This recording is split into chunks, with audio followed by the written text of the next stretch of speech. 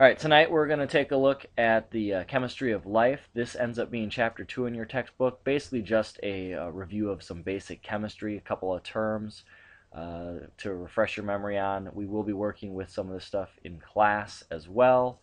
Uh, you can see up in the uh, upper right hand corner, you'll see the page numbers and how it uh, connects to the textbook for you in case you're struggling with a few of these concepts still. So some basic terminology from chemistry class. First off, ions. Ions are any atom that has either gained uh, or lost an electron. That then, of course, makes it a charged atom. So an ion is a charged atom with either a plus or a minus charge. A couple of atoms that you see here, sodium atom uh, this one right now has both the same number of protons and electrons with 11. Uh, it will likely want to lose an electron because it only has one electron in its outer uh, orbital in that outer valence shell. And so if it should lose that electron, let's say it's going over here to this atom. If it loses it, it would have one less electron and therefore have more positives than negatives and have a little bit of a positive charge to it. The chlorine atom, on the other hand, would love to get just one more uh, electron to make a full set of eight, part of that octet rule stuff. Uh, a full set of eight electrons in that outer valence shell, and it goes then from having 17 protons and 17 electrons. If it gains an electron, it gets an extra electron, therefore it's a little bit negative. You can see uh, I've got a, a hyperlink here. I'm not going to click on this one right now. I will connect it up for you uh, right underneath this lecture uh, so you can uh, see a couple of other animated tutorials that go along with some of this chemistry of life stuff. Next step is really to look at some of the important bonds in biological molecules, which are the ones that we're going to focus on the most, and again, they are pretty much the ones that you've recognized from chemistry class. The classic ionic bond is an association of two ions that have opposing charges. And so the ionic bond itself, classic one, is sodium chloride, NaCl. Uh, the Na gets the plus charge and the Cl gets the minus charge, like we saw in the last one when it transfers an electron. And as we've probably learned in the past, opposites do attract and will be attracted together. So as the electron gets transferred from one place to the next, it does cause then uh, the the positive charge uh, on, on this atom, negative charge in this atom, opposites will attract, and that association will then want to hold it together. I do have a little animation that I'll show you here.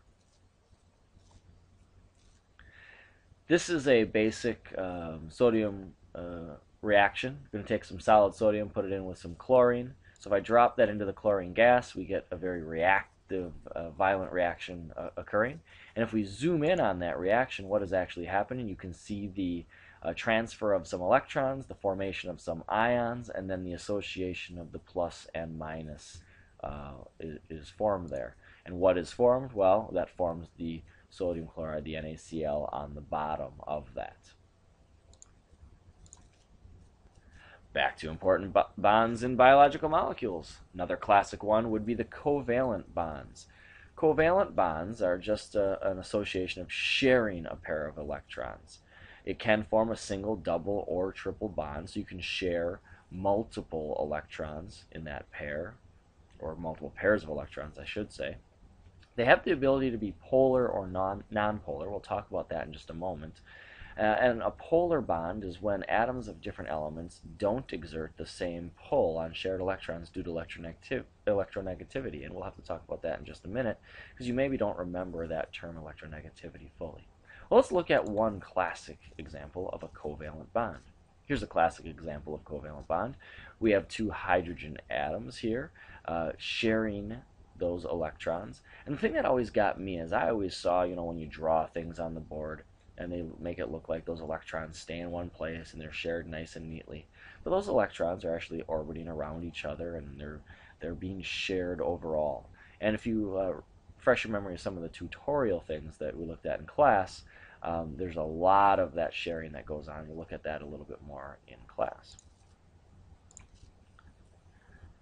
So back to this electronegativity thing. Electronegativity is the attraction of atoms for electrons in a covalent bond. And basically, not all atoms like to share equally. Some of the classic ones that we're going to encounter uh, are sulfur, nitrogen, and oxygen.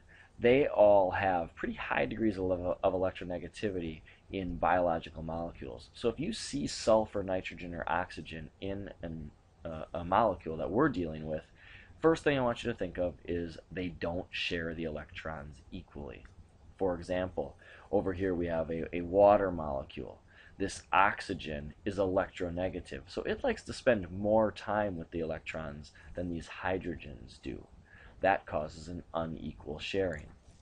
This uh, animation shows you a bit of how it would work. You can see the hydrogens are sharing with the oxygens, but they're not sharing equally.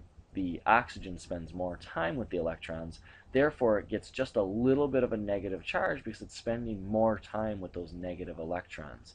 And the hydrogens therefore get a little bit of a positive charge because they're spending less time with those negative electrons. It causes it to be not equal and that is considered to be then polar. When one side gets a little bit of a positive charge, a slight positive, here they are, on the hydrogen end, and the oxygen gets a slightly negative charge. This is not ionic. There is no transfer of electrons. It is an unequal sharing. So it is a type of covalent bond when it's unequal sharing that is called polar covalent. Um, similar to the, the opposite poles of the Earth, uh, this molecule, this water molecule, has opposite poles. The oxygen and the hydrogen have slightly different charges, so they're considered to be polar in nature. That can lead to another type of bond called the hydrogen bond. The hydrogen bond uh, is due to an electronegative atom of a molecule weakly interacting with a hydrogen atom on some sort of another molecule. Here we see a couple of classic examples of hydrogen bonds. A hydrogen bond is formed between these two molecules. This one has a slightly positive charge on the hydrogen because the oxygen is taking more time away with the electrons, causing this hydrogen to be a little positive. We also mentioned on the previous slide that nitrogen is also electronegative.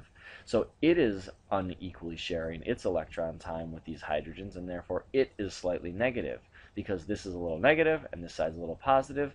Those opposites are attracted to each other, but there is no transfer of electrons going on here. There's also no sharing of electrons in between here. So it is not ionic, it is not covalent, but it is considered a hydrogen bond because this hydrogen is being bound to this nitrogen due to the electronegativity on each of these separate molecules.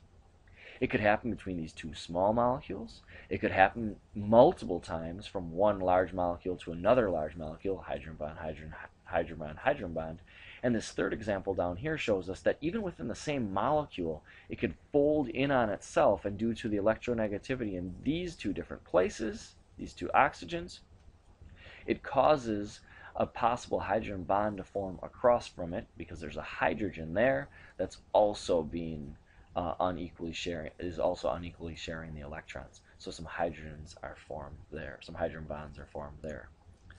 Uh, this one is again a little bit of a tutorial that goes through uh, how water is polar and how it forms some hydrogen bonds. So I again, we'll make a connection to that for you back on uh, the Moodle page underneath this link. Uh, this just shows that water is able to make a couple of hydrogen bonds itself. It's one of the great uh, things about water. Uh, because of its polar nature, it can make lots of hydrogen bonds, and it actually can cause a lot of the properties of water, which we'll talk about a little bit uh, next week, uh, to form. And so the little bit of positive here interacts with a little bit of negative there, hydrogen bond. Positive here, negative there, hydrogen bond. Positive here, negative here, hydrogen bond.